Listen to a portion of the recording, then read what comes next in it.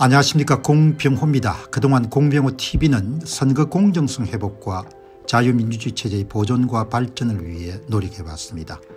이런 노력들이 지속될 수 있도록 공병호 tv의 전기 후원 프로그램이자 멤버십 프로그램을 소개해드립니다. 뜻 있는 분들의 관심과 동참을 부탁드립니다.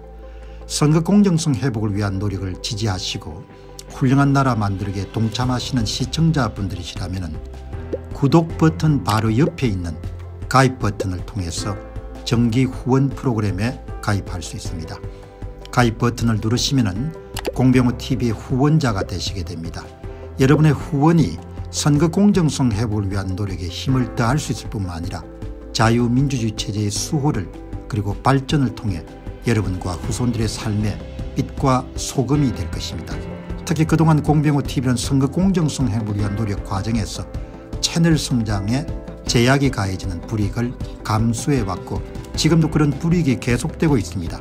그럼에도 불구하고 너무나 중대한 문제이기 때문에 공병호TV의 노력은 계속될 것입니다. 여러분의 깊은 관심을 부탁드립니다. 감사합니다. 자, 이 보시게 되면 알리익스프레스, 예, 알리바바의 자회사죠. 예, 중국의 온라인 그런 기업이지 않습니까?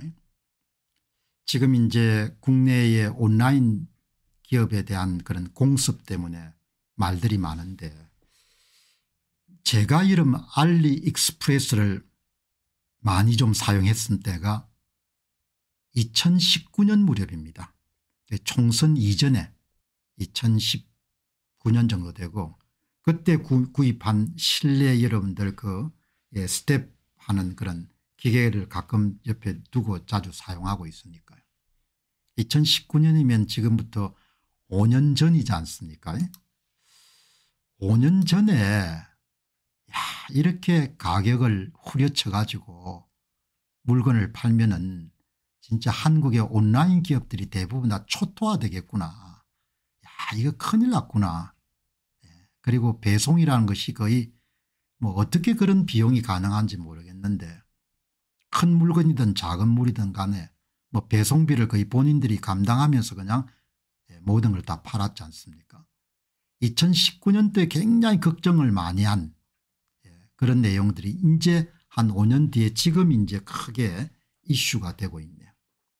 근데 이제 오늘 제가 이 문제를 다루는 것은 이제 이 보시게 되면은 오늘 신선 상품까지 이제 진출하는 그런 내용이 나왔네요. 토마토까지 알리익스프레스가 판다고 대형마트 잔뜩 긴장 중국의 온라인 쇼핑 플랫폼인 알리익스프레스가 신선식품 배달 시장까지 진출하면서 국내 이커머스 전자상거래 업체뿐만 아니라 대형마트도 중국발 공습을 예의주시하고 있다. 신선식품은 마트들이 오프라인 경쟁력을 되찾기 위해서 최근 가장 공들이고 있는 영역이다. 이날 알리익스프레스 앱을 열자 상단에 MD의 pick이라는 큰 배너가 보였고 가장 첫 번째 뜨는 상품이 부산 대저 토마토인데 2.5kg을 원래 가격 27,800원에서 59% 할인된 11,300원에 살 수가 있다. 이런 기사가 나온 거거든요. 참 큰 뭡니까 숙제인 겁니다. 약간의 불편함이 있더라도 싸는 데는 장사가 없거든요. 싼 데는. 그리고 이제 이게 알리익스프레스라는 거가 이 보시게 되면은 이 사람들이 이제 기본적으로 규모가 크지 않습니까 제가 지금도 머릿속에 딱 남아있는 것이 중국 시장에서 오랫동안 사업을 해오신 분하고 대화를 나누는데 그분이 이런 말씀을 하시더라고요. 1990 한 7, 8년 무렵에 중국 시장에 진출할 때 중국에 이제 공장을 만들어야 되는데 가장 중국에 첫 발을 디디고 가장 놀란 것 중에 하나가 규모가 상상할 수 없도록 크더란 이야기 공장 규모를 어마어마하게 크게 짓더라는 겁니다.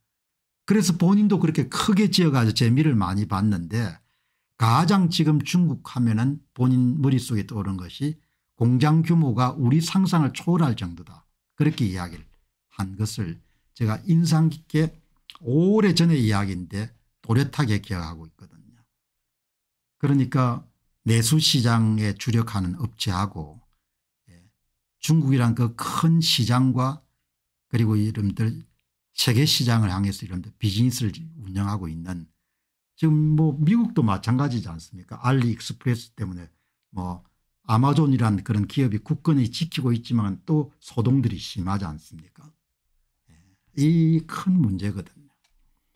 그리고 온라인이라는 것이 여러분들 보시게 되면 은 전자상거래 업체라는 것이 뭐 보험부터 시작해서 모든 것을 다 팔 수가 있지 않습니까?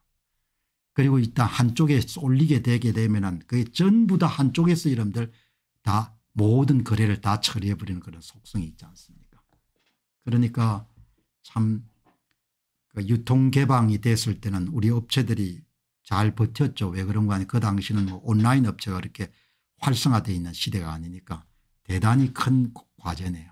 예, 보시게 되면은 국내 물류 체계를 갖추지 못했지만 중소 판매사가 플랫폼에 직접 입점해서 제품 판매와 배송을 맡는 오픈마켓 방식을 택하고 있고 입점업체 수수료를 아예 받지 않고 초저가를 가지고 예, 대형마트들은 알리익스프레스의 카테고리 확장을 예의주시하고 있다. 뭐 일부 분들은 크게 문제가 없을 것이다 이렇게 생각하는데 저는 그렇게 보지 않거든요. 무한 경쟁을 할 수 있는 그런 업체들이지 않습니까 하지만 알리익스프레스가 가파른 성장시로 판도 변화를 일으킬 수 있다는 우려도 있다. 알리익스프레스가 가격 경쟁력을 무시할 수 없는 데다가 소비자들이 무의식적으로 알리를 클릭하는 쇼핑 습관이 자리 잡을까 봐 알리가 무서운 것이다. 예, 이게 어마어마하게 중요한 거죠. 그래서 그냥 딱 그냥 그게 묶이는 겁니다. 예. 자의반 타의반으로. 대단히 여러분들 중요한 그런 사건인 거죠. 시대가 참 여러분들 조금만 이렇게 게으르면은 다 그냥 혹하고 그냥 갈 수 있는 시대니까 이제 우리가 참 정치적인 문제나 이런 부분에 너무 많은 에너지를 쏟지 않고 좀 생산적이고 건설적인 방향에 더 많은 에너지를 쏟을 수 있도록 그렇게 세상이 좀 바뀌어야 되는데 좀 아쉬운 점이 많죠. 뭐 이재명 괴물성이란 표현만큼 알리익스프레스의 괴물성이라는 가장 적합한 표현인 거죠. 예. 한판 승부가 불가피하겠네요. 2020년도 4.15 총선의 실상을 철저하게 분석한 도둑놈들 사권이 출간되었습니다. 여러분께서 구매해 주시고 널리 퍼뜨려 주시기 바랍니다.